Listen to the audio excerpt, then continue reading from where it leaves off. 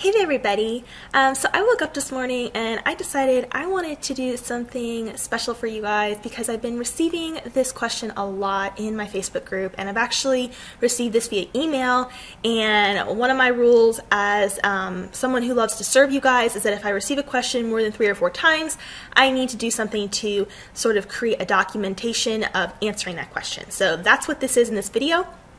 I am going to show you in this video how to use Canva or PicMonkey to use mock-up images for your own designs. If you're someone who wants to sell things like t-shirts or something like that, let me show you exactly what I mean here.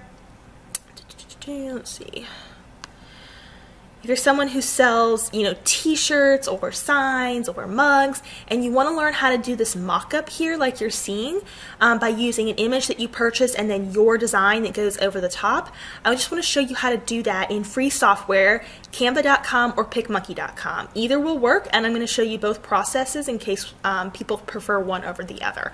Um, I've used both many, many times. Okay, so we're going to start in Canva. Um, Canva has become my personal favorite. I used to use PicMonkey all of the time, and I only rarely use it now because I feel like for the most part, Canva gives me what I need. So if you go to canva.com, you'll see something that looks similar to this. Now for this, you're going to want to think about creating a design.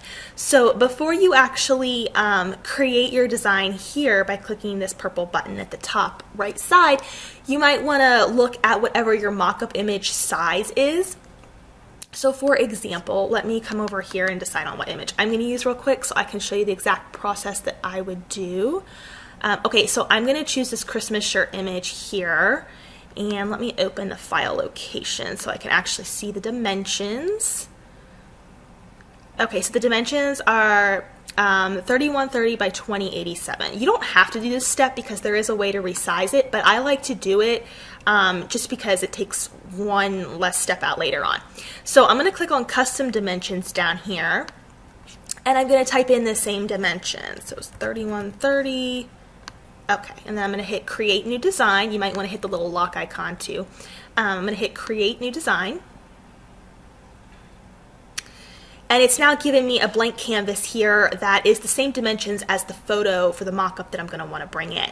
So um, over here on Canva, if you're not familiar with it, there is like they have a template section, an upload section, which is where you're going to bring in your image. They also have their own photos here, but you have to subscribe to be able to access these. Um, but this part here you can use for free. So this part that I'm showing you is completely for free. You'll just see other things over here that is under the paid plan. So I'm going to come over here to that image.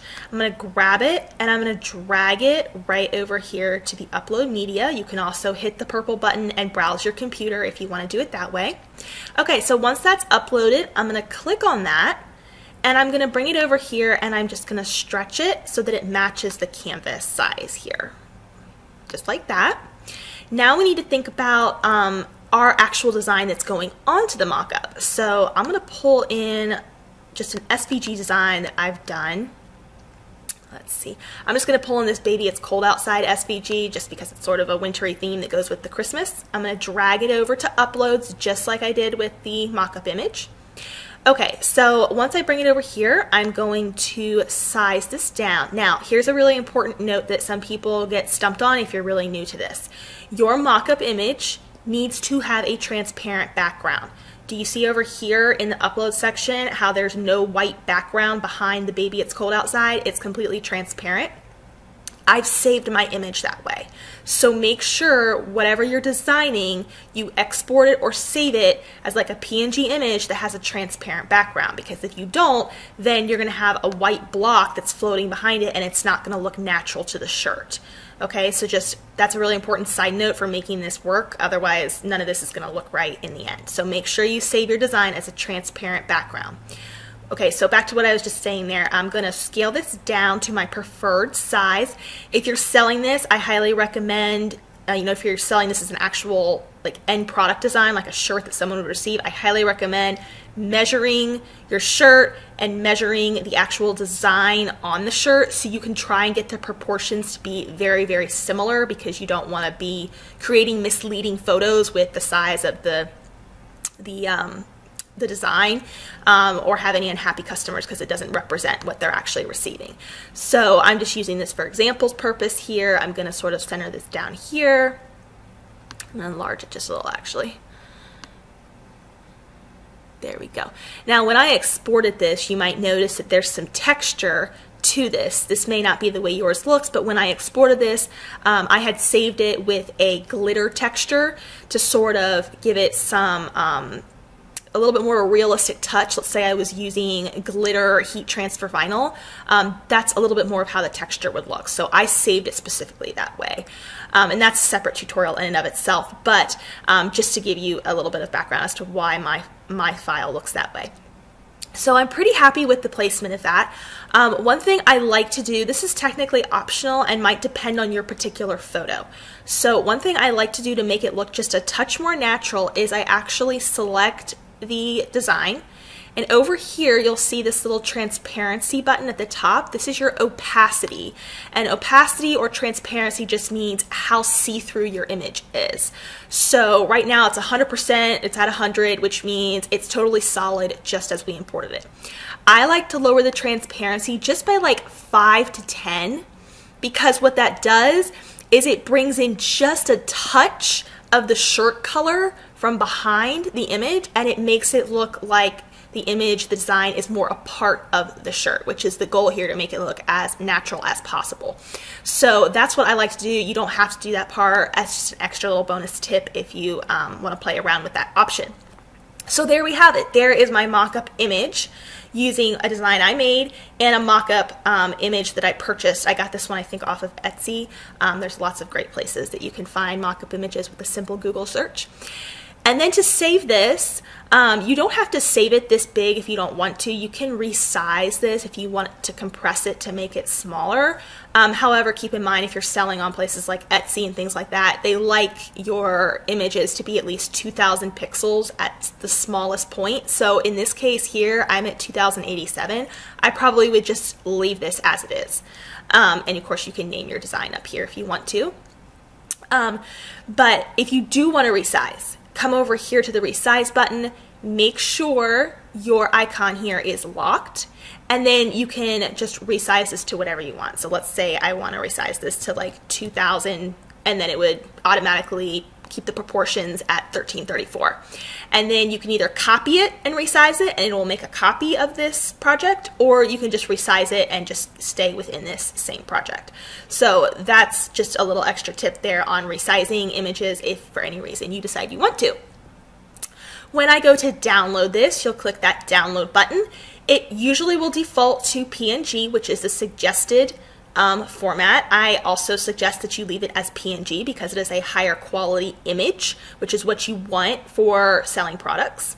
And then I'm going to hit the download button. It's going to take a minute to render and export this. And then it'll either add to your downloads folder or it'll pick a place on your, you know, you'll need to pick a place on your desktop or your files, wherever you like to save.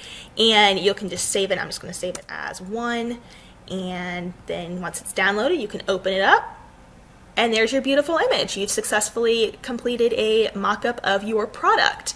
Um, so that is the process inside of Canva. I want to show the process inside of PicMonkey just to give you some variation and some comparison of a different um, platform to use.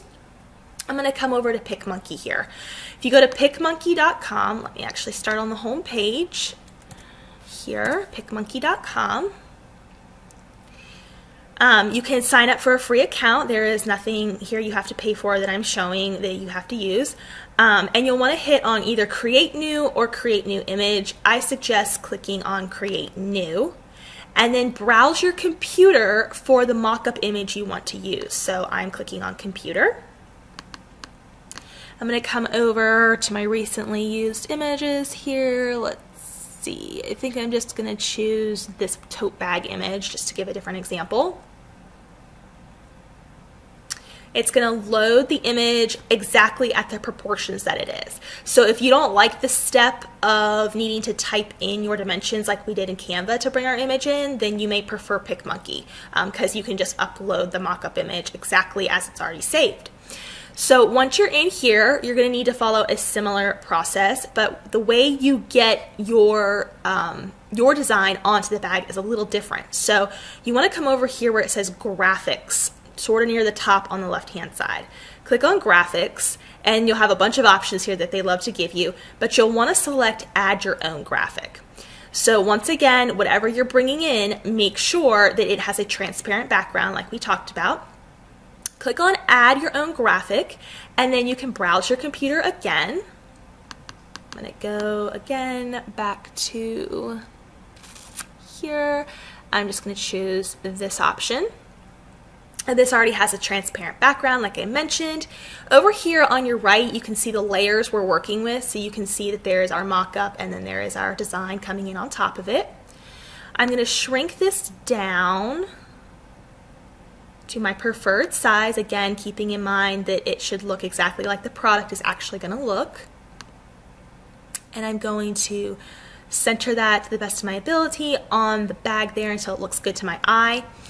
And then again, I'm going to do that little trick where I sort of lower the transparency or opacity a little bit just to make it look a touch more natural onto the bag itself. And to do that in PicMonkey, you should have a box that looks something like this. If you're not seeing it, it means it probably got clicked off. And then to get it back, you'll need to actually select something on the screen and it'll pop back up for you. So I've selected um, my image here and this little fade bar, you can just drag that and I'm going to drag that to about like five, somewhere between five and seven percent is usually where I stop. And that just makes it look a touch more natural on the bag itself because a little bit of that bag color is coming through and it just makes it look like it was actually put on the bag. Um, so there we go. There is the process inside of PicMonkey to add our um, our image to our mockup and create our finalized product image.